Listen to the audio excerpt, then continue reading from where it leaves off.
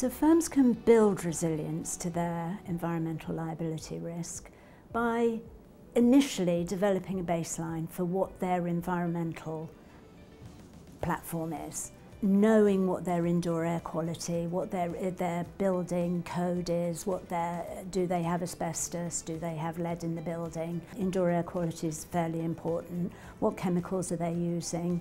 Um, how are they managing their waste streams? And keeping up with that on a monthly basis.